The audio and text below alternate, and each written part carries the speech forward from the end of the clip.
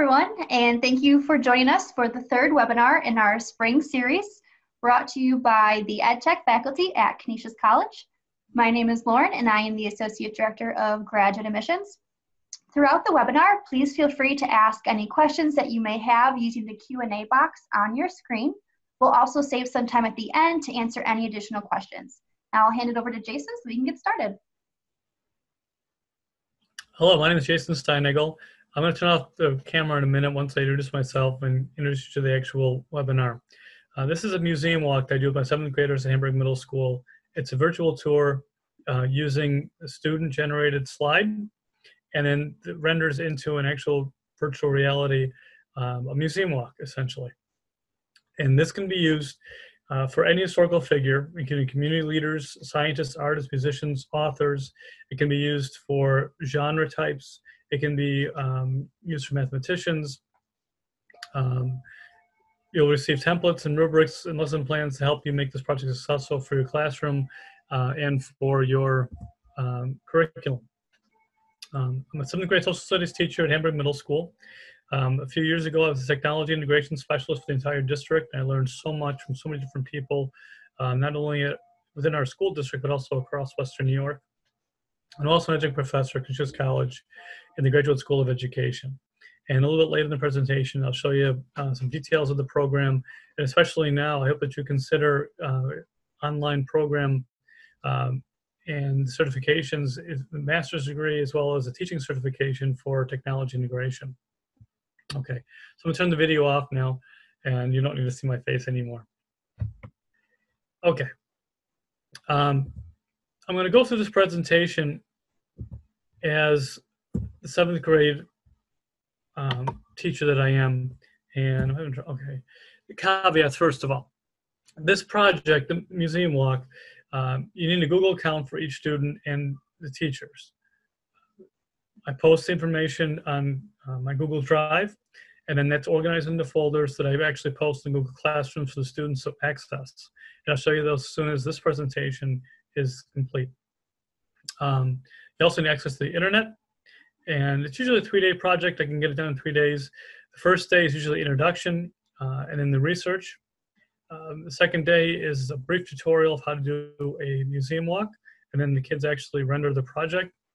Uh, and then the third day is going to be um, presenting the actual information.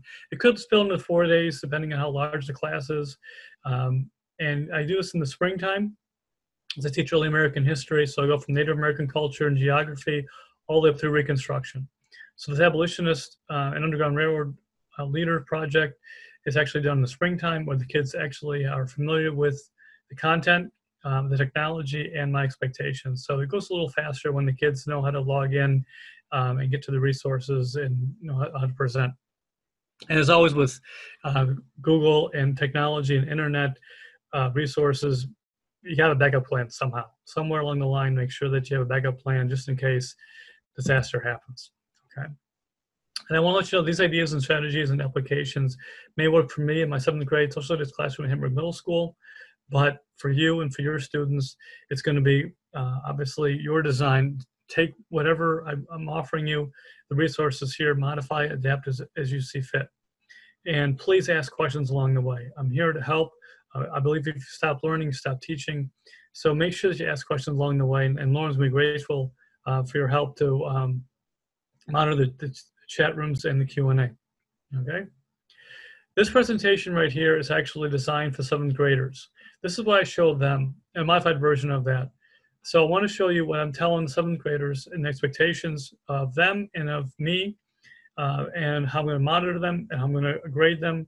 And then later, I'm going to close out the presentation, go to the internet, and show you the live um, Hamburg Middle School drive that I have, Google Classroom, and then show you some of the things uh, behind the scenes to make sure that uh, this project can work for you and for your students. Okay. A museum walk is a virtual tour of an exhibit that describes the life of an abolitionist leader and their role in the Underground Railroad. So the students are going to be choosing an Underground Railroad leader, uh, and they're going to make a virtual reality tour that celebrates their accomplishments um, in the abolitionism movement. Uh, the gentleman in the top right corner is Patrick Worth. He's the uh, technology specialist at the Hamburg Middle School. He co-teaches this with me. He actually teaches uh, the process of creating a virtual tour, and I owe him a debt of gratitude because through him and his inspiration, uh, he actually has helped me um, design this project, and it's, it's been wonderful working with him. And this is the website here, and I'll show you this website as well. I'll pass it on to Lauren, who can share it with you through uh, through email. Okay, if you don't write anything down.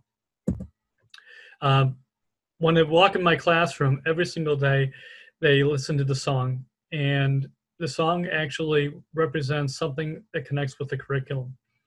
Uh, and I also have the actual lyrics of the song there as well. So I give them a different variety of genre and, um, you know, different bands and different singers that they may not be accustomed to. So one of the songs in the abolitionism movement I play is Rachel Platten's song, "Fight Song," because you know it's, it's this is their fight song. If someone you're researching now, this is what they're going to be doing for their entire life, breaking the law, helping fugitive slaves escape, and risking their own lives. Um, for secession, in the antebellum period, I'll play Breakaway from Kelly Clarkson. Um, and some kids don't even know who the Beatles are, Elvis Presley. So it's great to have them exposure to new music. And then when they come in the classroom, they actually are very, very quiet. They're listening to the song, they're listening, uh, reading the lyrics, and they're quiet when they come in. And they make the connection with the actual lesson, which is the objective. So for this one, um, this is a, a museum walk from the movie um, Ferris Bueller, and he skips school. I don't tell the kids that, obviously, but uh, they're creating a museum walk. That's what they're doing right now. Um, and Patrick Worth actually inspired me to, to think about this, so I found it on on the internet, and something is going to be designing their own exhibits that celebrate the life of the abolitionist leader and people working in the Underground Railroad movement. This also celebrates art, too. And some of the famous paintings that are in this museum walk, I like to connect not only the music, but also the disciplines as well. So we talk about artwork celebrating culture of a people, what they value, what they preserve, um, you know, thinking about what it means to you, and you'll see the characters in the movie actually coming up very soon and, pondering what it means and how they're mimic- mimicking the statue poses here. The kids laugh at this. So it's beyond just abolitionist leader in the, in the Underground Railroad movement. Now it's about artwork and choosing the right pieces to celebrate the people you've chosen. And here's a kissing scene, and they, it's again, it's, it's a moment of maturity for seventh graders. It's like, yeah, they just kissed. You know, you're young ladies and gentlemen now. So there's a level expectation that I have uh, beyond just the common core standards. You know, it's behavior, it's maturity. And you can see the character here um, focusing on the eyes of the, getting deeper and deeper into the painting. So the kids have a laugh at this. Um, Mr. Worth, you know, thinks it's, you know, very appropriate as well. So there's a museum walk, okay, just like Ferris Bueller did with his friends in the movie. Okay. Calendar, again, the, day one is usually introduction. They choose the lead of the Underground Railroad movement. Um, they do the research on the figure. Um, I show them the, the forms they're going to need to do the research, the links online, the databases to help them with that. Um, if they can't finish it during school, then they have some homework to do. They design the museum walk with Mr. Wood's help, and uh, he instructs them how to do it. It's very simple for seventh graders who are immersed in technology from their birth and the technology natives that they are to, to get this done uh, very quickly. And then the third day they present to the class. And I can get through maybe 20, 25 in the day. So a little bit uh, larger classrooms, you may need a fourth day to do all this. And depending on how much homework you want to give the kids in, in independence, you may want to have a fourth day just to finish some of the work uh, that they have on the first and second day too. Okay. Um, so I'll show you in the back end when I get to the internet. In my Google Drive, I actually have every classroom um, laid out as a folder. In other words, I have many different curriculums from Native American culture up through Reconstruction, and they're all lettered. If you use numbers, they are not in order if they're numerical, because if you go one, two, three, all the up to 10, the 10, 1, 0 will jump up just below number 1. So I always recommend everyone using letters. And the letters in the folders and the curriculum titles will then transfer into Google Classrooms. So every year, I'm sorry, every uh, few weeks or so when they have a new curriculum unit, I give them one curriculum unit at a time.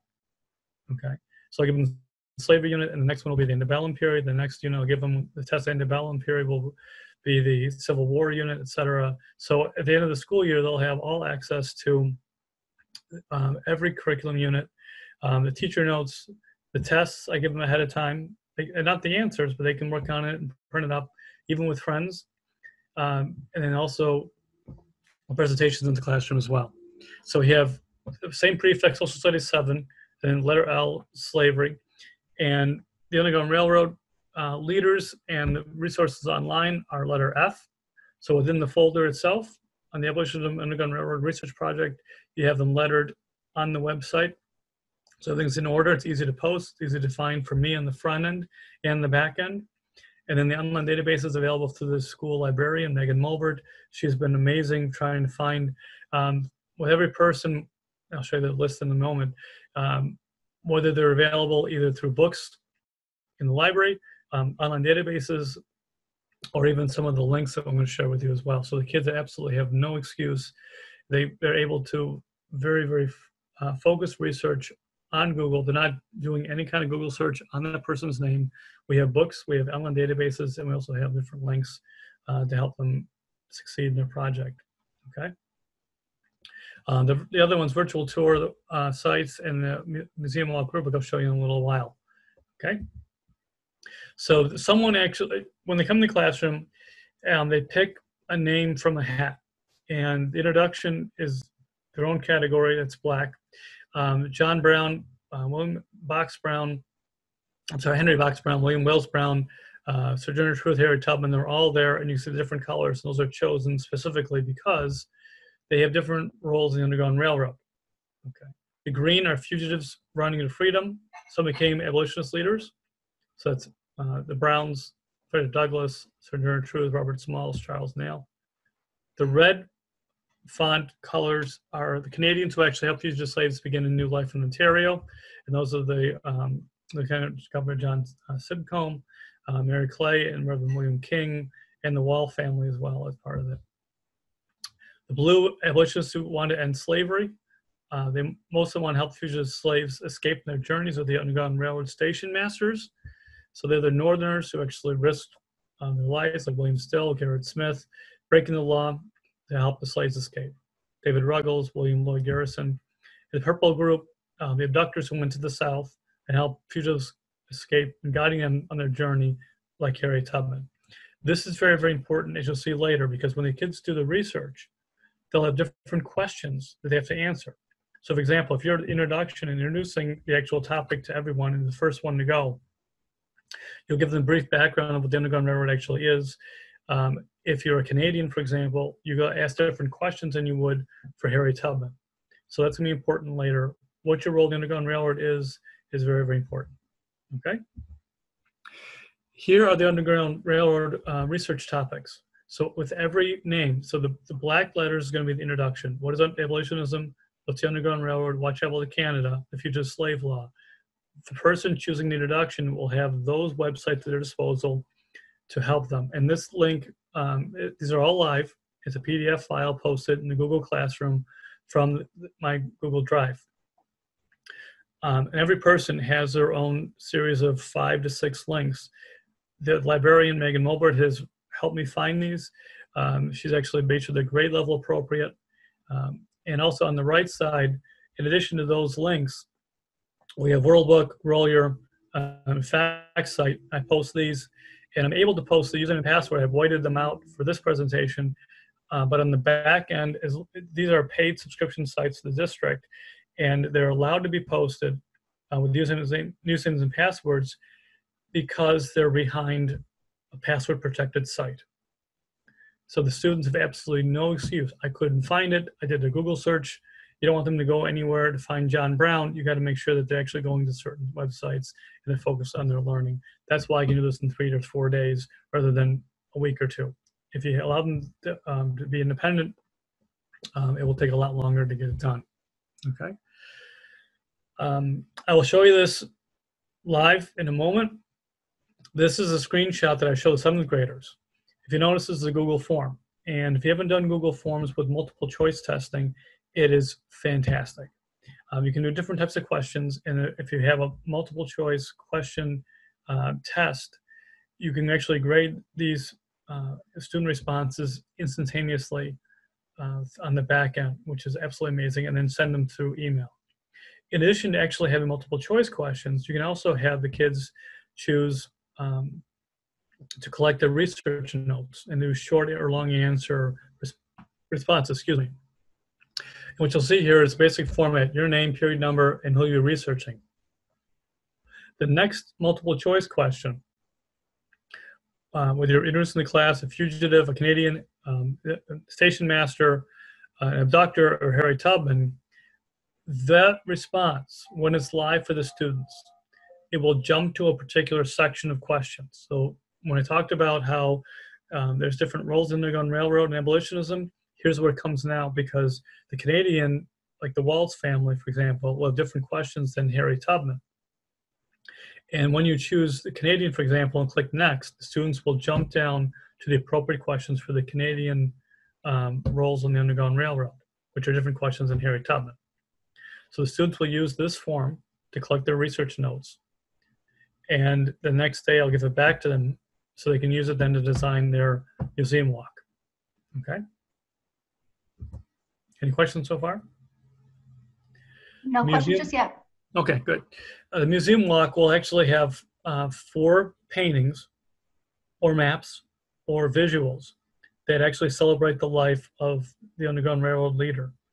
And the students will actually have to create a virtual tour, which I'll show you how to do that in a, in a moment.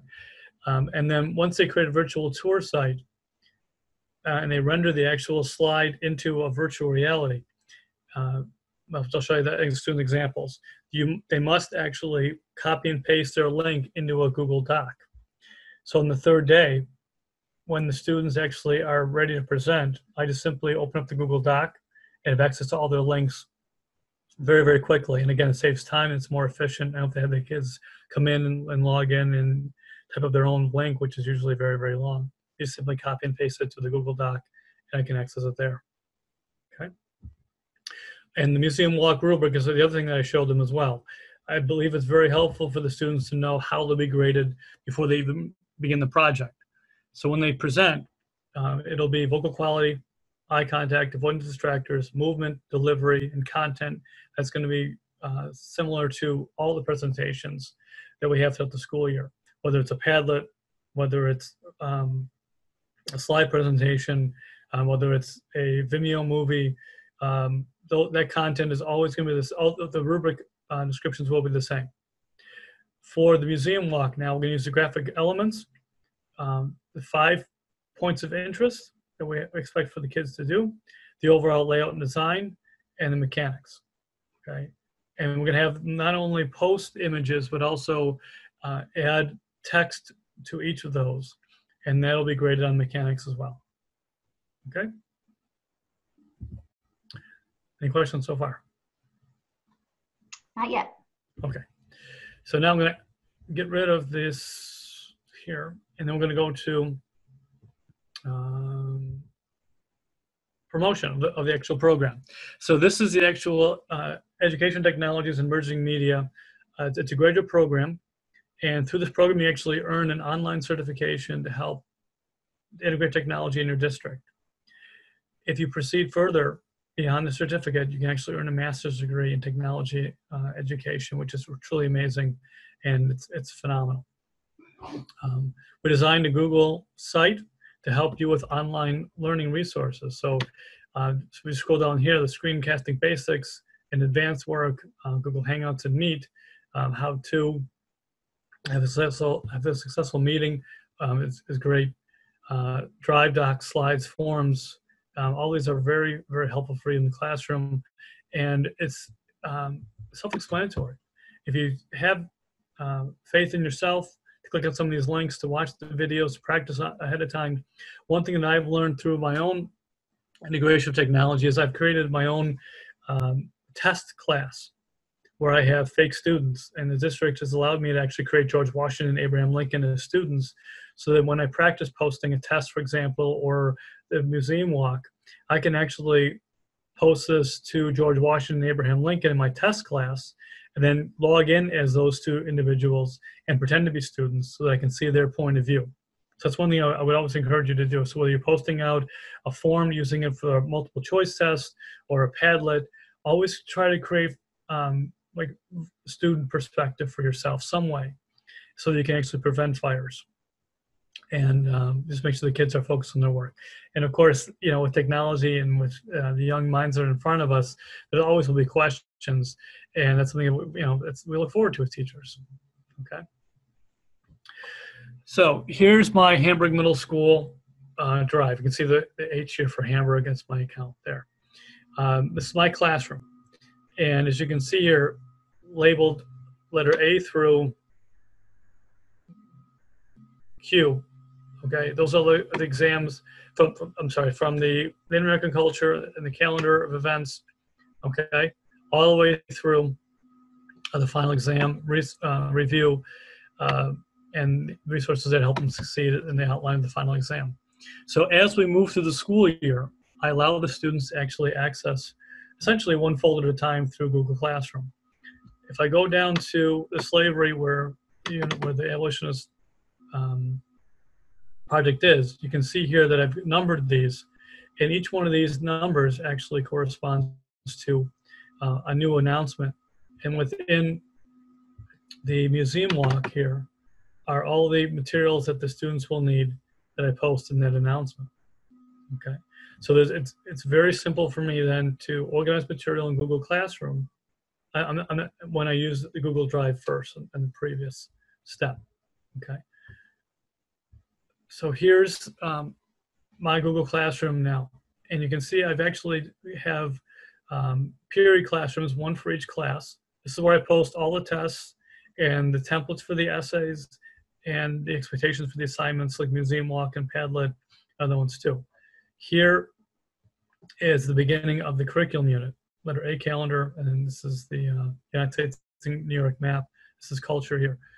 So everything is going to have social studies 7 as a prefix. So when the students see it alphabetically on their perspective, all of my, all of our classrooms are together. And I give them one at a time. So as I go through the um, sectionalism in Major Jackson, the day of that test, I give them the classroom code for slavery. When that unit's over, I give them the classroom code for antebellum period all the way through. Okay. So I'm going to click on slavery here. Oh, great.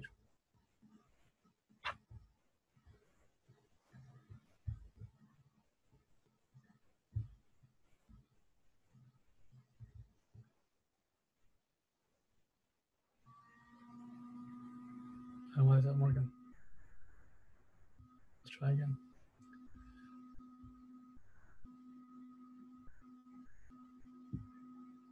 Technology in the backup plan.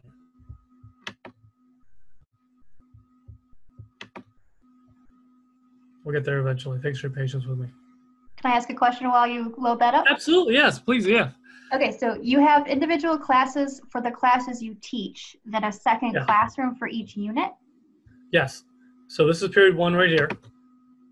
So all the kids in period one are in here, 20 of them. And here's why I post the tests, the essays, the assignments, the projects. In addition, I also have the um, curriculum. Okay. And this is where I actually show the kids the presentations. Here it is. Um, the test ahead of time. I give them tests ahead of time so the kids know. I don't believe in, you know, um, I got you learning.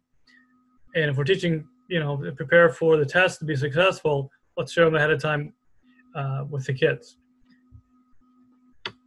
And also show my videos here and all the homework assignments for the district as well, across the grade level too. Okay. Um, so yeah, it, it can complicate. It can get complicated during the seventh grade year. They get a lot of different um, classrooms for me. But at the end of the year, they always, you know, just delete them and they're good to go. One good thing is that at the end of the, school year, they have all their curriculum uh, mapped out. Okay. So if we roll down here to Museum Walk, okay, this PDF file right here is the actual long list of all the people, um, different colors up on the, the top, representing the different roles they have in the Underground Railroad. All of these links are live. So Elijah Lovejoy, for example, if you click on this here, you can go right to him. The kids can actually read this and find the information that they need for their project. Okay. The next one here is uh, World Book Grolier and FactCite. The usernames and passwords are also listed there as well. And um, this is the actual Google document. So uh, for period one, for example, I'll put the, the, students' names here. I just got rid of them because of, you know, privacy issues. But they'll copy and paste their tour address once they create it right there. Okay? So that's what the kids see. And finally, the rubric to PDF file. I always do a file save as from Microsoft Word and they get a PDF file simply because I don't want the kids to actually um, be able to change or alter or edit the document. So PDF just locks it into what's important. Okay? It's at 84 points. And we, we changed it a little bit from last year. So point of interest, we only have three, uh, four of them this year instead of five. So that's something we, we actually worked on together um, when we reflected. Okay. Any questions so far? Not yet. Okay. Um, I'll go back now. The, the, kids will not see my Google Drive, but you can see that the actual links from Google Drive are right here. So these are posted for the kids in the Google Drive, uh, in the Google Classroom from my Google Drive. Um, notes for teachers. So when you have a museum, I'll share this with Lauren to share with all of you guys as well. The goal is to make a museum walk. We're going to have four um, points of interest in museum walk. I'm just going to read this through to you and I'll show you basically how it works.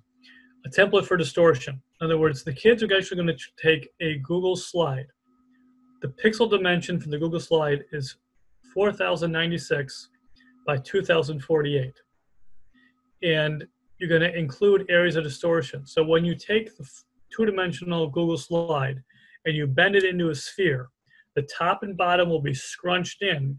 So as you look around the museum exhibit, the two-dimensional slide will become a three-dimensional sphere, which means the top and bottom of the slide will be distorted. Okay? So go back here. This is the template right here. Again, I'll share this with you as well through Lauren. Um, it's very easy to create a Google slide with those dimensions. Okay. And then you can actually create, you know, these lines here. The horizon is here. So when Mr. Worth talks to my students about putting for interest points to images, when they go to the websites, they copy and paste the pictures here and this is the median of the actual virtual reality tour, the museum walk. Up above here and down below here, that will be merged together and rendered, um, scrunched into a sphere. My seventh graders, I mean, seventh graders, they're really awesome because they will take things in the new directions. Um, Mr. Worth and I, we were saying don't put anything above or below the, the gutter lines here. It's not going to be looking good. But they surprise me always. Some of my students actually found a picture of a chandelier. They put it up here above the actual horizontal line here. And some actually put um, a pattern of a floor, parquet floor, and put it down here. So when you can see the actual when you look up, you'll see the, the chandelier, and then when you look down, you'll see the actual floor pattern. So they really took things into a new direction that I, I didn't think of, which is great. They put the pictures where they're supposed to be, but then they just added the new step, which is really awesome for them. Okay. Um, any questions so far? No other questions just yet. Okay. Once you do that, then um, we save this as an image to upload into the virtual reality tour. So you go to the file and okay, you download it as okay, an image right here. It's gotta be an image. So once they get everything ready to go, the background color, we show them how to do the background colors, which they've already done before since September. Um, they post pictures in there, make sure they spaced out correctly. The chandelier up above, the floor parquet down below. That's saved now in an image and that's saved in their Google Drive. Okay. Um, when you share the Google slide with the students, make sure you share a copy for each student. Um, if you, there's three different options. You can send them a Google Doc or a slideshow and have them only view it. They can are not allowed to edit, they can't change anything. That literally locks them out and they can just look at it, which is fine. Okay. The other thing um, that you can do is you can actually have um, one shared with an entire class period. In other words, there are some projects where I have a Google slideshow and each student has their own slide. And they're responsible for telling the story of an abolitionist leader or um, a founding father. Um, and, and they are actually allowed to only edit and change that one slide. But all 25 students in that classroom have access to the same presentation. They just have one slide as their work. And I promise them that if they manipulate anyone else's slide but their own, on the back end, when you go to file and you go to version history, I can find out exactly who's doing what to whose slide. And you know, you can promise severe and swift retribution, which is always fun for seventh graders. Um, and it also teaches them respect too. You stay in your slide. I know where you're going. Um, up in the top corner here, if everyone's on the Google Doc or the Google Slideshow, I can see where people are. They're logged in. Uh, on the column over here, in the, the three-pane view, I can see who's on which slide. So I can I, and I show them that on a big screen, so that, that they know that, that they'll be monitored.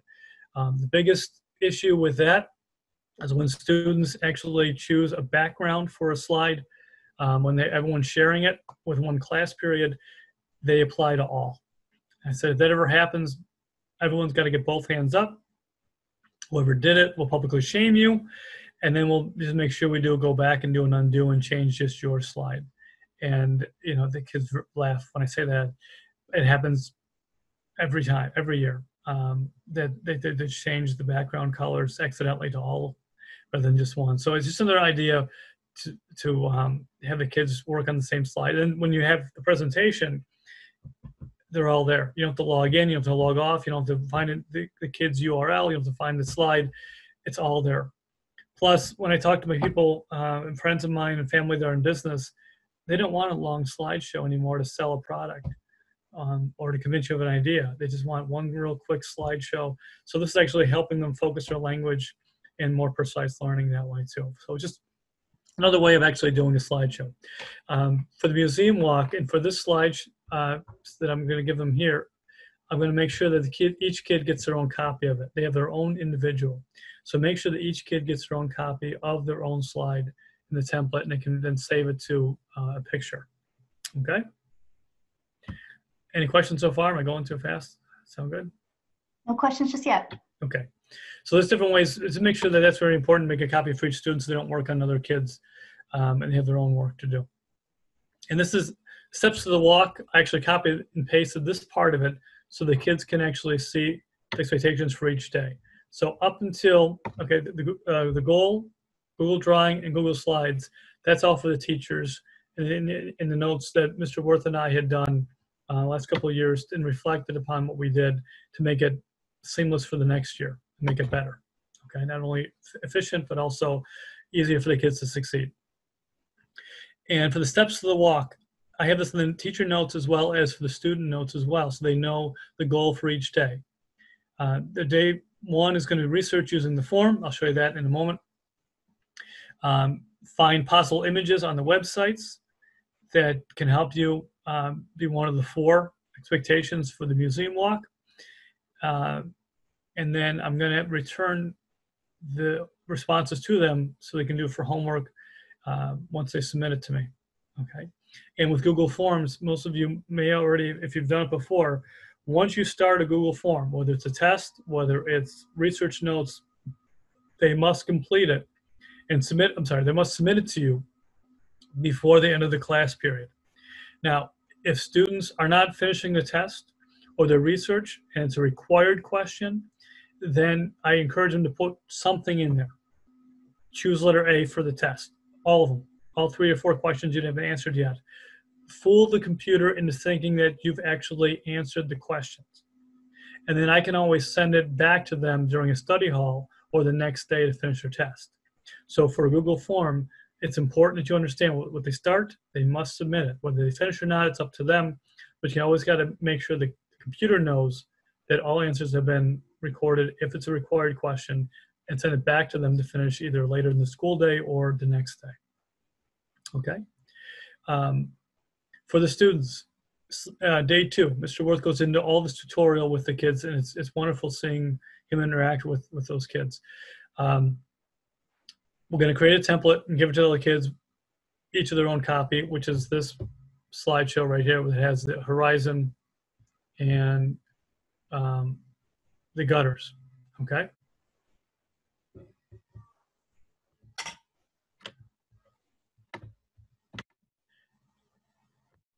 They have four images, portraits, homes, uh, locations of the station on the Underground Railroad, uh, any general images of slavery that might relate to the Underground Railroad leader. They tell the story of their heroism and their role in the Underground Railroad. Um, we got to respect the horizon and distortion areas, and you can format options. Uh, you can do a drop shadow. Uh, that's one thing that the kids had asked is, can we make this more three-dimensional? So when you put uh, an image here, the image actually can then have, um, you can actually have a picture that actually has a shadow to it. That actually looks like it's three-dimensional. Um, and the sliders allow you to make that either more or less um, demanding on the eye. Okay. When we do a Google search for pictures, we also look for transparent uh, frames. So the one more step besides the chandelier and the floor is that students actually found really neat, ornate, uh, old-fashioned looking portrait frames that are transparent. Um, and if you go to Google images here. Um, you know, and if you look here and you actually go to transparent. So when the frame is wrapped around the picture, uh, it looks very, very impressive. So Mr. Worth and I designed the project uh, first for the kids. We had no idea they're going to look for chandeliers, floors, and frames. Um, but they, they, really surprised us and went beyond expectations, as, as kids usually do when they're given some freedom. Um, within expectations. Okay. Um, backgrounds, either a picture background, you can actually do a wallpaper background or a different color background. Um, and once it's all done, you do save it as a JPEG image. And then from there, we go to the actual tour creator. Okay. And this is phenomenal for the kids to do. Um, once you get started, you, you import the video. Um, you actually then you can actually add text boxes, which is a requirement, and then you actually post your um, picture to it. Okay, I'll show you some examples of students. Um, then copy and paste the actual URL that you created in your virtual tour into the correct period um, Google Docs so I can access it later.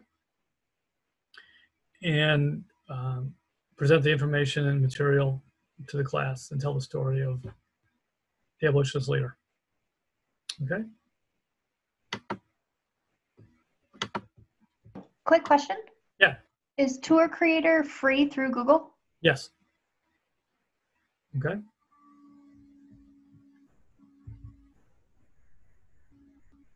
let, me, let me show you the form.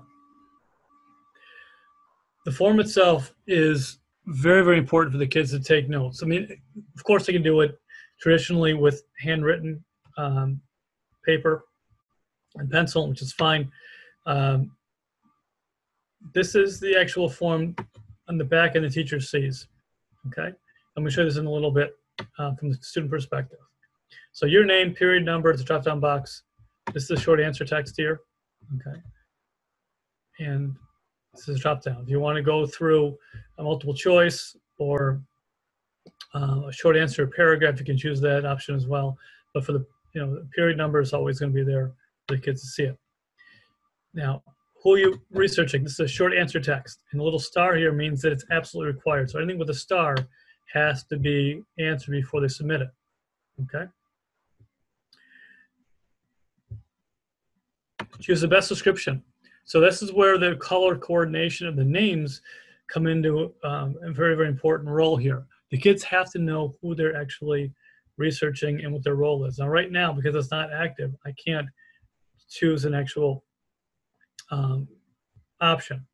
But if you notice here, you can actually then go to section two. So if the student actually chooses, I'm interested in the project of the class, it jumps down to section two, which is section 207 here. To make a section, you're just going to add section down here. Okay.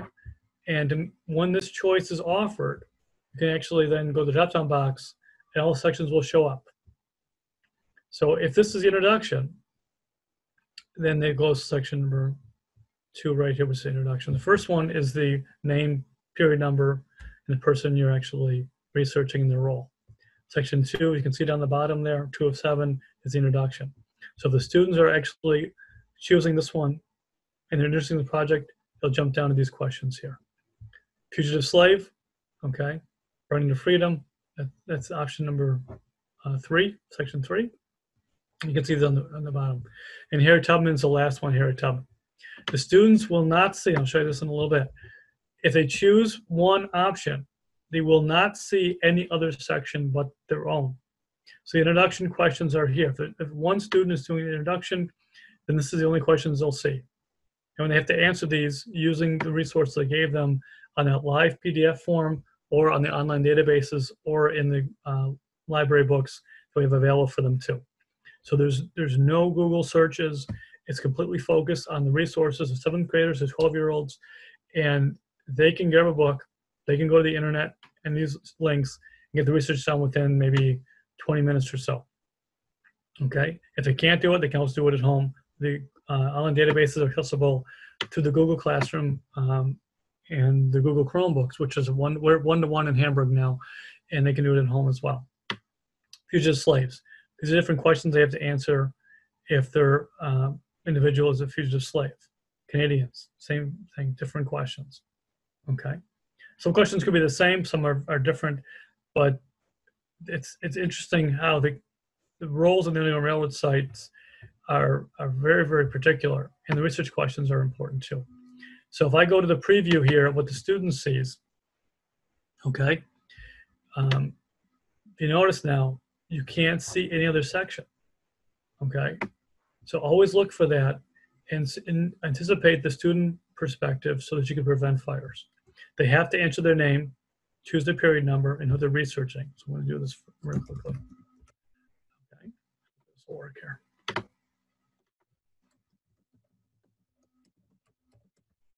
And once they actually, I don't know if they'll let me do this, guy created the form. And then here are the actual questions that only Harriet Tubman's researcher has to answer. So they're focused, they know the resources, they know the questions, and they're successful. Okay? Once they submit their answers to all this, I can always send it back to them at the end of the school day and say, if you didn't get this done, do it for homework and I tell the, the parents at open house that I give them enough time in class to finish their work. If they have any uh, work to do at home, um, it's because they struggled a little bit to, to stay focused or they had questions that we could able to answer, but the students are able to independently do this um, at home with the resources and the materials I've given them. That's what you want. If you can't do it in front of you, then they should be able to do it at home independently without um, parent help. Okay. So forms, phenomenal for multiple choice tests, um, and also for collection of the research notes. Okay. Any questions so far? No other questions right now. Okay. Um, steps of the walk, just to let you know. I also post this for the students as well in their period classrooms, not the slavery unit, but it's very similar to what um, the teacher notes are for, so that they know what's expected of them. And again, if they're doing this at home, uh, the parents know and they know, the kids know, that uh, this is expectations every day. And what I'll do is I'll even put instead of day one here, I'll put the actual date, you know, Tuesday, February, March. Oh, jeez, I've been away from school for so long, I forgot the date. Tuesday, April 28th, um, what they're doing in class.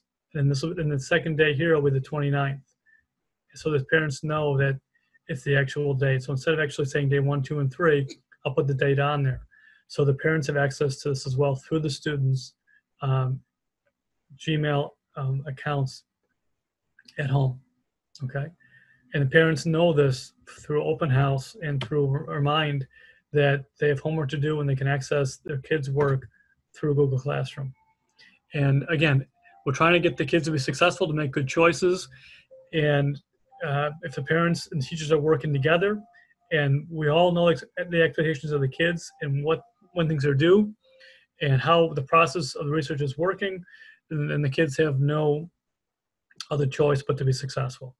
Okay, and it's clear communication and expectations. It's been modified, adapted. It's we've gone through this over the last few years. Um, we've changed expectations, and that's part of reflection and review and, and learning to become a good teacher. So this changes every every year as new um, ideas come about from the seventh graders and a new way of ask. I, I usually ask them, were these documents successful? Did, did this really help you? And some kids actually offer some really good advice about how to change the language and be more precise. So it helps to do that. Okay. Any questions so far? Not yet, and you can use that Q&A box on your screen to ask any question. Okay. And I got some examples here of some students and what they actually did. So, you know, I did, so Reese. Um, and again, I would have five um, Google Docs, one for each class period, and Reese would actually post her URL in that Google Doc. And um,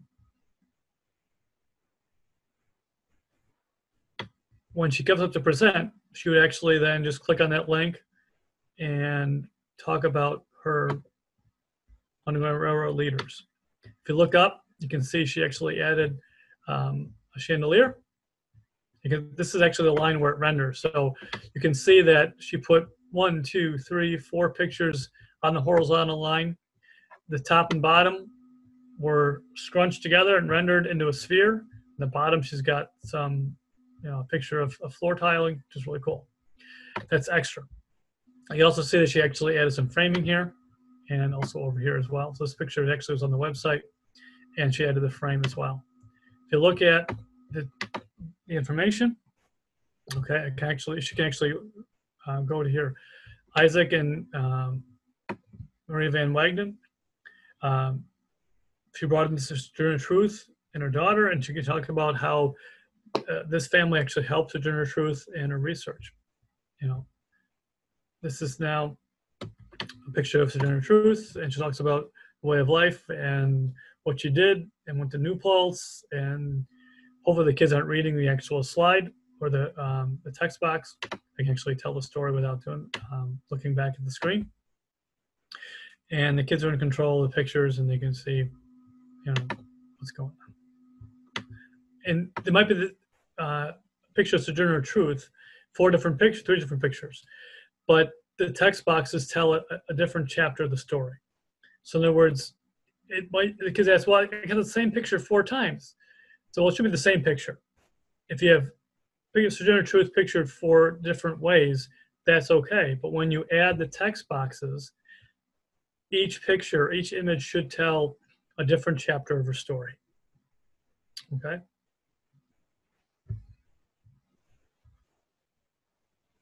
Any questions so far? None yet. Okay. And here's Maeve's. And when the list of URLs for each class period is on one Google document, the kids come up very fast, click on the link. There's no logging in or logging out. There's no typing in the URL. It's fast, it's efficient, it's quick. The kids are ready to go. Um, there's absolutely uh, opportunities for success. Okay, so Harriet Tubman is here, and she talked to the slave auction. Um, Charles Nalle was her person and talked about how uh, he actually um, was a turning point in his life. What he, he saw the slave auction, she talked about that in a presentation. She was well to Harriet Tubman as well. Okay, and Strasberg House is here and the newspaper. So you can click on the actual pictures and get the letter I, or you can actually just go through the order. Um, she went to order a little bit. Again, I think she did, yeah, she did chandelier, and then she also did the floor panel down here, which is beyond expectation. Frames are here as well. Um, she was consistent with the framing. She shows purple background for Hamburg, purple, purple and white are school colors. That's cool. We have a question. Yeah. Does the tour creator walk you through how to add the information boxes? Yes, it's very intuitive. And for the digital natives, it's really easy for them to do. They put a picture in there, and it's very easy to actually add the text boxes there for each picture. Okay? It's very intuitive. And last one with Jake's here.